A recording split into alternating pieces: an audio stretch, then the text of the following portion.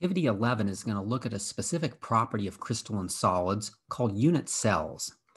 A unit cell is defined as the smallest repeating unit of a crystalline solid. And we're going to look at three specific unit cells here in Activity 11. The first one's called the simple cubic unit cell. If you actually have eight atoms or molecules or ions arranged in a perfect cube, and you repeat this pattern over and over again until a macroscopic crystal has been developed, we say this is the simplest repeating pattern in this crystal, and thus this is its unit cell. Its name is called simple cubic.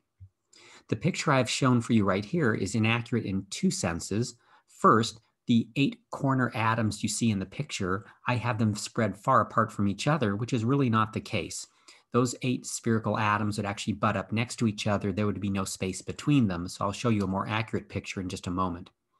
A second thing is if you take a look at, let's say, this top right corner atom, if you imagine where the three lines of the cube all meet, they would meet right in the center or at the nucleus of that atom, which means all the part of the atom that's outside of that is actually not in the unit cell. And the same is true for all of the corner atoms. There's a good fraction of each atom that's actually outside the uh, unit cell itself. So when I show you the picture, you're going to see these eight corner atoms as only showing a fraction of each inside the cube itself. So here's a more accurate description of the simple cubic unit cell. Notice the atoms are butted up to each other here. There's no space between them. And only some fraction of the entire sphere, which would be that, this big here, is actually contained inside of the unit cell itself. The unit cell is the pattern that if you repeat it over and over again, it actually would make the giant crystal that you can macroscopically see much like if you buy tiles and they always look the same and you put them together in a, a, different arrangement, you can wind up making really pretty patterns like this. Well, this particular unit cell I have in the middle picture repeats itself over and over again. And as it does, those little fractional atoms on the corners combine together to eventually make full atoms, and you wind up getting an entire crystal where the picture in the center is really and truly the simplest repeating pattern, therefore the unit cell. If you look at your data table for activity 11 and the section on simple cubic unit cells, we're going to see if we can answer some questions quantitatively about matter in which the simplest repeating pattern is this simple cube. The first thing we want to identify is the side length in terms of R. So the side length is just the distance from one corner to the next, next nearest corner along any side of this particular unit cell here. In this case, we want to do it in terms of radii. So because this is a spherical atom here, you can see the picture, what's shown is this atom has its radius right here. So this is one radius of a corner atom butting up to another atom, and that's its radius as well. So in this case, we can clearly see that the distance all the way across this side length is just one radius plus a second radius, so it'd be two radii. And if we use r to represent the radius of an atom, the side length in this simple cubic unit cell turns out to be 2r. In your data table under side length in terms of r, you can enter 2r. So that's a physical observation you can make just by looking at the unit cell and determining how many radii are there from one corner to the next nearest corner. That's going to equal your side length. The second thing we want to try to calculate is the volume of the unit cell in terms of r because this is a cubic solid, we know the volume of a cube. And now if you have a rectangular solid, the volume is length times height times width. But if that rectangular solid is a perfect cube, length and height and width are all the same. We usually just call that S for side. And so the volume of this cubic structure would be side times side times side, or side cubed. Because we know what the side length is in terms of R, the side length is 2 radii the volume of a simple cubic unit cell always has to be 2 times the radius quantity cubed. And if you multiply that out, 2 to the third power is 8, r to the third power is r cubed, so therefore the volume of a simple cubic unit cell is always 8r cubed. You can write this work in box number one, where you should calculate how you get the volume in terms of r, and then the final answer, 8r cubed, can be written in your data table. The next entry is equivalent number of atoms per unit cell. How many atoms are in a simple cubic unit cell? And if we take a look at the picture, we can see there are actually eight atoms that are taking part in the unit cell, but only some fraction of each of those are actually contained inside the cube itself. So we have to figure out what fraction this is. And this fraction right here happens to actually be one eighth of a sphere. Here's the whole sphere here, and only one eighth of it is located inside of the cube. Because there's eight atoms here on the eight corners, each of them only one eighth inside of the cube, the number of atoms in the unit cell can be calculated by going the eight corner atoms multiplied by one eighth each. That adds up to one. So if you take these eight one eighths and put them all together, you would actually get one complete atom. And so therefore there's one equivalent atom per unit cell. You can show this work in box number two, and then in your data table, write one atom per unit cell. The next uh, calculation we want to do is determine what's the percentage of unit cell occupied by atoms. If we take a look at the picture, anything that's in gray are the atoms that are in the unit cell, and then all this white stuff in the middle, this is just empty space or vacuum. And we want to know how much of this unit cell is actually made up of matter as opposed to how much is void here. It looks like maybe it's about 50-50, I don't know, about 50% atoms and 50% empty space. The way we do that is we first have to picture percentages as fractions. If you want to know the percentage of boys in a classroom, it's the fraction of the number of boys divided by everybody in the classroom. If you want to know the percentage of atoms taking up space in the unit cell, you need to know how much space the atoms are taken up and divide it by the space taken up by the unit cell itself. To make it a percent, we then multiply it by 100. So our calculation is going to be the volume of all of the atoms that are in that unit cell divided by the actual volume of the unit cell itself, and then we multiply by 100 to make it a percent. So how do we get the volume of atoms? To get the numerator in a calculation like this, you have to know how many atoms are in the unit cell. And as we just calculated, a simple cubic unit cell always contains one atom. So if you take that one atom and think, I wonder what the volume of one spherical atom is, well, thinking back to geometry in high school, the volume of a sphere is 4 thirds pi r cubed. So the volume of the atoms in this unit cell would be one atom multiplied by 4 thirds pi r cubed. That's our numerator. The denominator is the volume of the unit cell itself. What's the volume of that cubic unit cell? We had calculated that earlier as 8r cubed. So I now have my fraction. It's going to be 1 multiplied by 4 thirds pi r cubed on the top divided by 8r cubed on the bottom. And then to make it a percent, we multiply by 100. So here's how we're going to calculate the percent of the unit cell that's occupied by atoms. And why don't you take a minute now and see if you can calculate what that would come out to. These are all exact numbers. There are no measurements here, so you can get your answer and just randomly round it to three significant figures. So take a moment, calculate what it is, just pause the video here, and then turn it back on when you're ready to see if your answer is correct. So when you do this calculation, you notice the R cubes cancel out on the top and the bottom. So it really doesn't matter how big the atoms are. The percentage of the unit cell occupied by atoms is always going to be the same. And to three significant figures, this works out to be 52.3%. So about half of that cube is occupied by atoms and just a little less than half that cube is dead space. So this is actually not a very efficient way to pack spheres together. We're going to see other unit cells in which a higher percentage of the unit cell itself is made up of atoms and a lesser amount of the uh, space is uh, just empty space there. But you can enter the uh, calculation you just did in box three, and then on the data table where it says percentage of unit cell occupied by atoms, you can enter 50.3%. Now, with calculations like these and quantitative information from these unit cells, you can now answer some more sophisticated questions. And that's what's happening in calculations four and five. Cal calculation number four is asking you to determine the density of polonium metal. And you're going to do this based upon the fact that you know that polonium forms simple cubic unit cells and that the polonium has uh, atoms who have a radii of 0.168 nanometers. So how do you use information about a unit cell and the radii of the atoms to calculate the density of the particular metal theoretically? Well, the way we're going to do that is by going back to the definition of density. Density is always mass per volume. When you're dealing with a particular unit cell and you know the radii of the atoms, you're trying to get the density, you need to pick a specific amount of the polonium metal to calculate its density from, and that amount is going to be one unit cell. So what we're going to need to do is calculate the mass of one unit cell of polonium, divided by the volume of one unit cell of polonium. And whatever that comes out, that's going to be the density of that unit cell. And it's also going to be the density of the entire crystal of polonium. So how do we calculate these? Where does the mass of a unit cell come from? It comes from the atoms that are in the unit cell. So you have to know how many atoms are in a particular unit cell. For a simple cubic unit cell, there's always one atom. So the mass of this unit cell is going to be the mass of one polonium atom. So how do we convert one polonium atom into a unit of mass, such as grams? Well, it's very similar. We did something like this on the first test of the semester. You can switch atoms into moles by using Avogadro's number, and then moles into grams by using the molar mass of the particular element. So this calculation is going to look like this.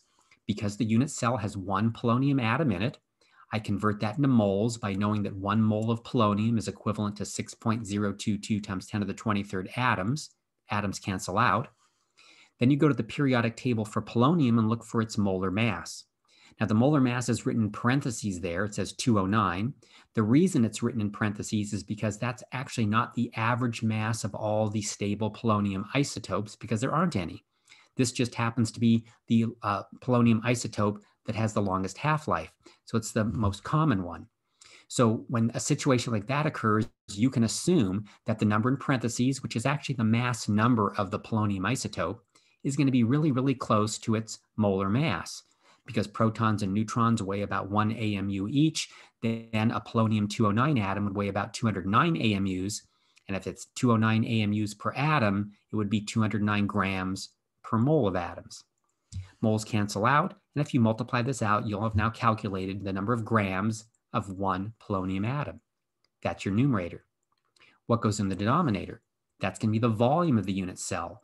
This depends upon what unit cell you have. Just like the number of atoms in the numerator was dependent upon us knowing it was simple cubic unit cell, the volume is going to depend upon us also knowing it's a simple cubic unit cell. We had calculated that earlier. Uh, mathematically, the volume of a simple cubic unit cell is 8r cubed. Now, the radius they gave us was 0.6168 nanometers. If we put that into the denominator and eventually cube it, cube it, our density will come out grams per cubic nanometer, which there's nothing wrong with that. That's certainly a density. But most densities are given as grams per cubic centimeter, and a cubic centimeter is the same thing as a milliliter. So that would mean grams per milliliter. And in fact, the units in the data table say milliliter, grams per milliliter, so that's what they want. So it would be better for us to take this value of a 0.168 nanometers and convert it into centimeters so we can use centimeters as our uh, length unit in the denominator. So this is a metric conversion. You have to know what the metric prefixes centi and nano stand for. The base unit multiplying factor for centi is 10 to the minus second. Nano is 10 to the minus ninth. So our equality statement would be one big centimeter equals, and then you go 10 to the minus second divided by 10 to the minus ninth, which is 10 to the negative 2 plus 9, or 10 to the seventh. So there's going to be one big centimeter equaling to 10 to the seventh little nanometers. That equality statement gets written as a fraction with the nanometers on the bottom, so they cancel out. And this will give you what the uh, radii of the atoms are in centimeters. It comes out 1.68 times 10 to the minus 8 centimeters. So now in the denominator of our calculation, the volume of a simple cubic unit cell is 8r cubed. I now know my value for the radius in centimeters, so I'm going to cube 1.68 times 10 to the minus 8th, multiply by 8, and that'll be our volume. So if you can calculate the values of the numerator and denominator and divide them, and there's lots of possible ways to make errors here on entering these numbers in your calculator. So why don't you see if you can work that out, pause the video, and then when you have your answer, come on back and we'll see if your answer matches mine. So when you do this, the units in the numerator turn out to be grams, the units in the denominator, cubic centimeters, and to three significant figures, the answer comes out 9.15 grams per cubic centimeter. A cubic centimeter is the same thing as a milliliter, so therefore the density in grams per milliliter is also 9.15. And so this can be the value you enter into the data table, and all the work you did to calculate that should now all be written in box number four.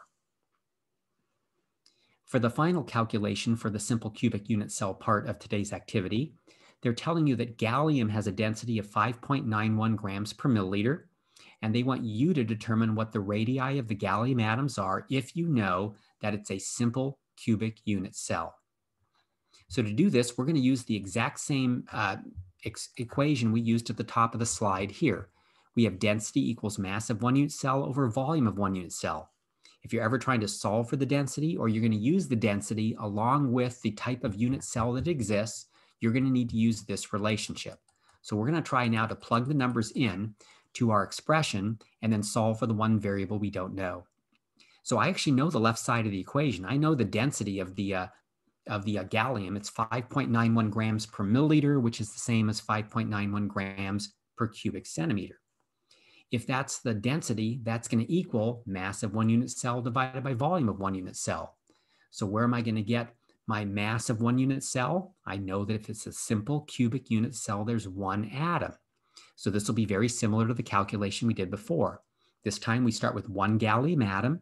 We convert it into moles by using Avogadro's number, and then we convert it into grams by using gallium's molar mass found on the periodic table. So to get the mass of the unit cell, this particular unit cell, a simple cubic unit cell, has one atom in it. We convert the atoms into moles with Avogadro's number and convert the moles into grams by using the molar mass of gallium from the periodic table. That's our numerator. The denominator is going to be the volume of the unit cell. And for a simple cubic unit cell, the volume is 8r cubed. In this case, I don't know what r is, so I'm going to leave that a variable, and that's what we're solving for. So it's a similar calculation, just solving for a different variable. Now your algebra skills will come into use. If we want to solve this for r, I actually want to get r into the numerator. So what I'm going to do is I'm going to take that r cubed, which is in the denominator on the right side. I'm going to multiply both sides of the equation by r cubed, so they cancel out on the right the r cubed will appear in the numerator on the left side of the equation. Then the 5.91, I'm going to divide both sides of the equation by, so the 5.91s cancel out on the left side, and it then will appear in the denominator on the right side. So I isolate my r cubed in that fashion, and that's going to equal 1 divided by 6.022 times 10 to the 23rd times 69.72. And then I divide that by 5.91 and then by also by 8. Now, if you want to get your value for r, because you've calculated r cubed, you'll have to take the cube root of both sides of the equation. So why don't you once again see if you can go through the calculation to first get r cubed and then cube root the answer, and we'll see if your radius turns out to be the same answer that I get. So go ahead and pause it and then turn it back on when you're ready to see the answer. So when I solve this for r, I wind up getting 1.35 times 10 to the minus 8 centimeters. Now, this is the radius of the gallium atoms. The data table says, though, it wants the answer in nanometers. So we have one more step to go before we can actually write a number into the data table. We're going to take our radius in centimeters and using the same metric equality we did in the last problem, one big centimeter equals 10 to the seventh little nanometers. I put the one centimeter in the bottom, the 10 to the seventh nanometers on the top, the centimeters cancel out, and that comes out 0.135 nanometers. So that's going to be the predicted radius of gallium atoms based upon the fact that it's a simple cubic unit cell and its density was measured experimentally to be 5.91 grams per cubic centimeter. Now, the second type of unit cell we're going to look at in this activity is a body-centered cubic unit cell. A body-centered cubic unit cell is a cubic unit cell just like before, but you have one additional atom stuck right in the middle. So in this inaccurate picture, uh, it looks like the atoms are not touching each other, but they actually try to get as close together as they can. And once again, each of the eight corner atoms are actually not completely contained inside the unit cell. So when I show you your more accurate picture, you're going to notice that only some fraction of each of the corner atoms are in the unit cell, although the center one is certainly completely contained within the walls of the cube itself. Now, because that atom's in the center, notice what it does to the corner atoms. The corner atoms no longer touch each other like they did in a simple cubic unit cell. There's a little space here, right? Because this central atom is pushing them all out, and so we have a little extra space located in this spot. So this is the simplest repeating pattern in what we call a body-centered cubic crystal. And so if that pattern repeats itself over and over again, you get a macroscopic crystal in which the unit cell is body-centered cubic. Now, what are the things we want to calculate here for this particular unit cell? If you go to your data table under body-centered cubic, uh, the first thing they ask you to get is the body diagonal length. So if we look at a more three-dimensional picture of our crystal, what's the body diagonal even mean? So let me locate the nuclei of all the corner atoms. They sort of outline where the cube is. A body diagonal just means a line that connects one corner to its opposite. So this orange line here is connecting two opposite corners. We call that a body diagonal. Okay, on the middle picture, and this might be a little bit easier to see, it goes from one corner, pick any corner, and then go to the opposite corner. That's going to be your body diagonal. So what is the length of that body diagonal? They're asking this uh, of you because this is a simple one to calculate. This orange line in our middle picture is passing only through atoms. It is not passing through any empty space. It goes completely through this fractional atom here, completely through the entire atom there, and then through this fractional atom here. Now, how far is it going? This distance from here to the extremity is the same distance as here or here. That's called a radius. Then as you pass through the center of the middle atom, that's called its diameter. And then as you go from here to here in this bottom atom, that's the same as this distance or this distance, that's a radius. So this body diagonal is a radius, a diameter, and a radius. Now what's a diameter? It's just two radii. So this is one radius, two, three radii, four radii. So this distance here is actually 4r. So your first entry in the data table under body centered cubic for the body diagonal length in terms of r should be 4r. So on my little picture on the left, I'm going to label that orange line 4r. The next thing we want to determine is the side length in terms of r, and this is a little bit more difficult than in simple cubic unit cells that we saw before because when you look at a side length from here to here, it's a radius and a radius and, oh, curses, there's some space there. So this distance is not 2r, it's bigger than 2r. How much bigger? You can't tell by looking at the picture. So we're going to use some geometry to try to figure it out. So the way we're going to get the length of one side of the unit cell is by looking at my picture on the top left, noticing I have that body diagonal of 4r, and recognizing that's a hypotenuse in a right triangle. Watch this. If I color in this side right here, that's one of the legs of a right triangle, and that happens to be the side length of the cube, correct? So that's what we're going to try to solve for. That's going to be S. What's the other leg of the right triangle? It's the line that goes across here. Now that's not a side, and that's not a body diagonal. That's like a diagonal across the bottom face. So I'm going to call that a face diagonal. So I'm going to use FD as its abbreviation. Now, what's the significance of me pointing out to you this right triangle? Because you know the Pythagorean theorem. a squared plus b squared equals c squared. The a and the b are the legs. The c is the hypotenuse. So from this orange right triangle I've drawn here, s squared plus fd squared must equal 4r quantity squared. Our job is to try to figure out what s is, but have it in terms of only r. And right now I've got this pesky face diagonal in my equation. So we got to try to get rid or substitute out that face diagonal. So how can we do that? Well, if you look at the face diagonal, the face diagonal is, an, is a hypotenuse in a different right triangle. Can you see where that is? The face diagonal is a hypotenuse in this triangle here where these two are the two legs, the side and the side. So what's true about all right triangles? It should be in this case s squared plus s squared equals fd squared. So fd squared, which is written right here, right, is going to be s squared plus s squared. So I'm going to substitute this out and replace it with s squared plus s squared because that has to be true. So therefore, this expression cannot be reduced down to only one other variable besides r. We can say s squared plus s squared plus s squared equals 4r quantity squared. Now, if we simplify it algebraically, the left side of the equation is 3s squared, and the right side is 16r squared. If you want to solve this for the side length, you would divide both sides by 3. And so s squared will equal 16r squared over 3.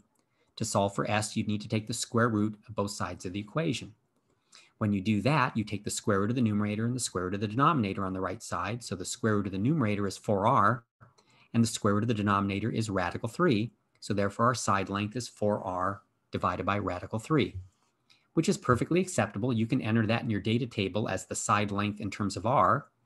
But if you've taken any trigonometry, you know that you never like to leave a number with a radical in the denominator. So if you want to rationalize the denominator, we multiply both the numerator and denominator by radical 3.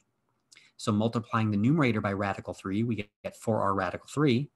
And multiplying the denominator by radical 3, radical 3 times radical 3 just equals 3 and we've rationalized the denominator. So this is an alternate way that you could write the length of uh, one side length of the unit cell. Either one of those would be acceptable. Now, the next entry in the data table for body-centered cubic says volume in terms of R.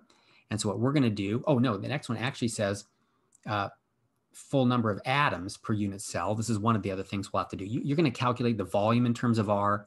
You're also going to, let's see if we can calculate the full atoms per unit cell here. I'll let you do the volume one on your own. In this particular unit cell, we have those eight corner atoms, which you may remember from our last unit cell are actually only one eighth contained inside the unit cell. But then we have that one full atom right in the very center. So that means this particular unit cell has eight one eighths plus one full atom, it equals two. So there are two full atoms in this particular unit cell. So in your data table, if you skip the volume in terms of R, because I'm going to let you calculate that on your own, you can get the equivalent number of atoms per unit cell in this way. This will be the calculation that goes in box eight, and then you can enter two as the equivalent number of atoms per unit cell. The remainder of the calculations in this part of the experiment, uh, percentage uh, of the unit cell occupied by atoms, we'll let you do that on your own as well. And then the two uh, applications, calculating the density of sodium, if you know it has a body-centered cubic crystalline structure, you'll do on your own. And then calculating the radii of iron atoms, if you know it has a body-centered cubic unit cell, we'll have you calculate that on your own. We'll so, so see if we can, if you can see the similarities between how you do the problems here and how we did them on the last unit cell. Now, if you look at the body-centered cubic unit cell picture in the middle, you can see there's not a whole lot of empty space in that cube. This is a much more efficient way to pack spheres together, but it actually is not the most efficient way to pack spheres together because atoms are essentially spherical. So if we look at how we're packing them together, if you're going to make a simple cubic unit cell or a body-centered cubic unit cell, we're starting with the first layer of atoms that go like this. And then you either put a center one and then put another layer on top to make uh, body-centered cubic unit cells, or just put another layer exactly on top of this, exactly how they are to make simple cubic unit cells. But this is actually a bad way to start because if you have, how many are there? 12 atoms here. A more efficient way to pack those together would be to pack them like this. Does that make sense? So if you want to pack spheres together as efficiently as possible, the first thing you're going to do is you're going to stagger them like this, not just put them uh, next to each other at 90 degree angles.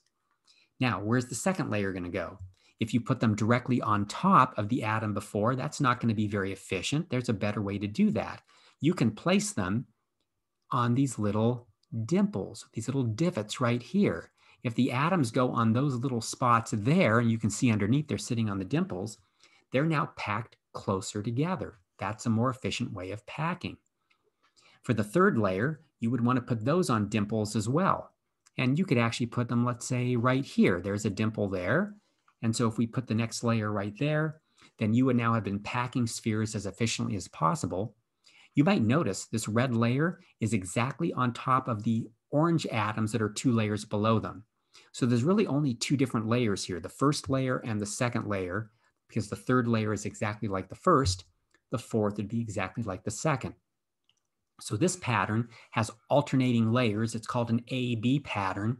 And if the spheres packed together like this, they actually create a unit cell that's not cubic. The unit cell is actually a little hexagonal prism. It's a slice that goes down through the three layers if you look from top going down.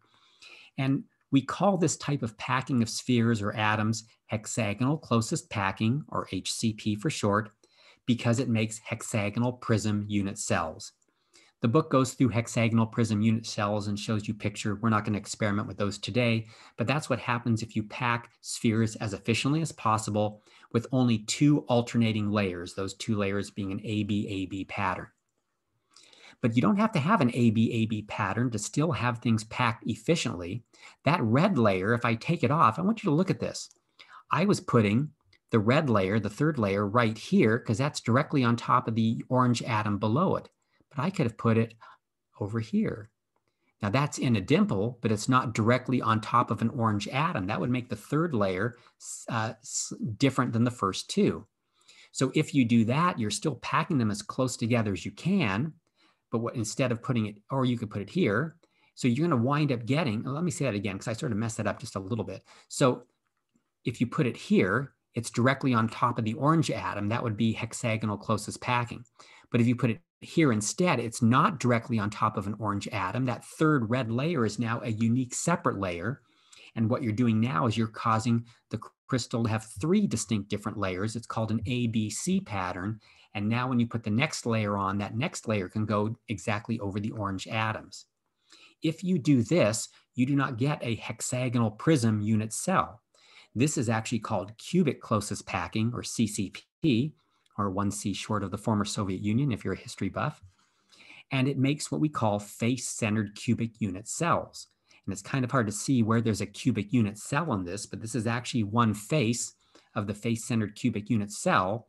And we'll take a look at a face-centered cubic unit cell coming up next because that's going to be the third type of unit cell that you're going to be working with in activity 11. So a face-centered cubic unit cell turns out as along with hexagonal prism unit cells as the most efficient way to pack spheres together. And so the way this works is you wind up having a cubic unit cell. So you're going to notice there are the eight corner cubes just like before, but it's called face-centered cubic because on each face, there's one atom right in the center of this face. This atom's in the center of that face. This atom's in the center of the top face. This atom's in the center of the bottom face. This one is in the center of the front face. This one's in the center of the back face. There is no atom right in the very middle of the unit cell that doesn't exist. They're only on the faces. So drawing a more accurate picture of this, it's going to actually look like this. So this is your face-centered cubic unit cell. And if you repeat this pattern over and over again, you'll wind up creating a macroscopic crystal. So in the data table for face-centered cubic unit cells, they're going to ask you a number of things. They're going to first ask you the length of the face diagonal. So look at this. Where's that? That's a diagonal across the face. That's this distance down to here. Why would they ask you that? Because there's no space there. It goes directly through atoms. You should be able to calculate that really easily, but I'm not going to give you the answer to that. So that's going to be a little bit later on your own. Then you're going to have to calculate the length of one side of the unit cell. What's that going to be? That's the distance from here to here. Is that 2r? No, it isn't because there's an r, there's an r, and there's a whole bunch of space there. So I don't know what that's going to be. So you're going to have to calculate that on your own. And from that, you can calculate the volume of the unit cell. Uh, you're going to have to calculate how many full atoms there are in the unit cell. We'll see if you can do that on your own.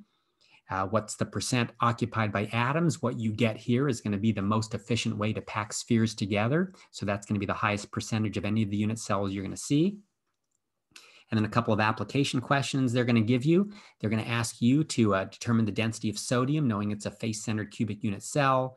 And they're going to ask you the radius of iron atoms, knowing that it forms a face-centered cubic unit cell. So all of these you're going to wind up doing on your own, so I will not be helping you with that. Now, a couple of last points concerning unit cells. These are unit cells for pure materials like a pure metal, only one type of atom is in the structure, but you can have unit cells for ionic substances, which contain positive and negative ions. And I just want to show you a couple of examples of that. So we're going to look at unit cells for two ionic crystals. And I'm going to start with zinc sulfide first. When you look at a unit cell for an ionic substance, it's going to look kind of like a nightmare at first. It's all these things are all going all over the place. You're going, wow, I can even tell what's going on there. I would like you to be able to look at a unit cell like this and tell me how many ions of zinc and sulfide are actually in that unit cell and then reduce that ratio down to its empirical formula so you can predict the empirical formula of this particular ionic compound. Now, generally speaking, when you have a, a, unit cell for an ionic substance, one of the two ions will be crystallizing in some unit cell that you should recognize. And if you look at the light blue zinc ions, what's this pattern they're making? Look at this four on a face plus one in the middle. Recognize that? Look at the top. It's the same thing. Look at the bottom. What's that called? That's called face-centered cubic. The zinc ions are actually creating a face-centered cubic unit cell. What are the sulfides doing? They're fitting little holes in the face-centered cubic unit cell. If they're actually fitting in a hole between four different zincs, that's called a tetrahedral hole. That's what's happening here. So how many zincs are in this? Let's see if we can count them up. We have eight corner zinc ions. So eight corner ions. What is the fraction of each corner ion that's in the unit cell? It's one eighth. So that's eight times one eighth. That adds up to one. And then we have one zinc ion that's right in the middle of each face. Can you see that right here? Now that ion is half in this unit cell and half out. So that's a half an ion that's in there. This is a half. This is a half. This is a half. This is a half. This is a half. Each of those face ions are half in the unit cell, and there's six faces on a cube, right? If you ever go to Las Vegas and you roll one of those things called a die, you'll notice the numbers on a die range from one to six because there's six faces. So those six face ions are one half in the unit cell. So if we want to calculate the total number of zinc ions in this unit cell, there's the 8 times 1 8 for the eight corner ones. And for the six face ions, they're each 1 half in the unit cell. 6 times 1 half, what does that equal? 3. So 1 plus 3 is 4. There are 4 zinc ions in this unit cell. Let's look at the sulfides. The sulfides have these lines drawn on them, so you can see the sulfide is located below the top of this cube. This sulfide is located above the top of the cube, and it's located inside the walls of the cube left and right. That's why they're drawing those little white lines there. You can actually tell by the picture, therefore, that all four sulfides are contained completely inside the walls of the cube. Therefore, it's four full sulfide ions. So that adds up to four. So this unit cell contains four zinc ions and four sulfide ions, how do we express formulas of ionic compounds? We always express them as empirical formulas, the simplest ratios. So ZN4S4, if we divide each by four, we get the simplest ratio of ZNS. So that would be the formula for zinc sulfide. Let's look at one final ionic crystal, sodium chloride. A unit cell of sodium chloride looks like this. And once again, it looks like a nightmare when you first see it. But if you just pause and just try to focus in on one of the two ions, you're probably going to recognize something you've seen before. Look at the chlorides here, here, here, here, here. What's that making? Look over here. Here, here, here, here, here. That's making a face-centered cubic array. So the chlorides are located in a face-centered cubic structure. And then what the sodiums are doing is the sodiums are fitting in the holes or spaces between them. The easiest one to see is this one in the very middle. What kind of hole is that? That's not a tetrahedral hole because it's not in the middle of four chlorides. It's in the middle of one, two, three, four, five, six. It's in the middle of six chlorides. So each of these sodiums are technically in what we call octahedral holes. So let's see if we can determine the empirical formula for this. Let's look at all the sodiums, okay? So first we have sodiums that are, let's see, where are they located? These sodiums are located along edges, okay? So they're not a corner atom. A corner atom or ion is one eighth in the unit cell. They're not a face ion, that would be one half in the unit cell. They're along an edge. This is an edge, it's on an edge, on an edge, on an edge. Look at the top. That's on an edge, that's on an edge, that's on an edge, that's on an edge. They're just a little bit harder to see up there. Here it's a little bit easier. That's on an edge, edge, edge, edge. So there are 12 sodium ions on edges. What fraction of an edge ion do you think is actually contained in the unit cell? Well, it turns out this sodium ion is actually part of four different unit cells. So that means it's one quarter contained inside of our given unit cell. So edge ions are always one quarter inside the unit cell. So that's going to be 12 times one quarter, or three altogether. And then we finally have one sodium ion in the very center, which is located right here. And that's a full ion because it's completely contained inside the walls of the cube. So we'll add one more. And therefore, there are four sodium ions in this unit cell. Let's do the chlorides. The chlorides are making a face-centered cubic structure. There are 12, or not 12, there's eight corner chloride ions, and each chloride ion is one eighth in the unit cell. So that'd be eight times one eighth. And then as we saw in the last example, you also have these six face chlorides, one, two, three, four, and then five, six. And what fraction of this chloride is in this unit cell? Half is in this one, half is in the neighboring one. So it's a uh, six times one half. So that's one plus three, that adds up to four. So this unit cell contains four sodium ions, four chloride ions. If we reduce that down to the simplest ratio or its empirical formula, it would be NaCl.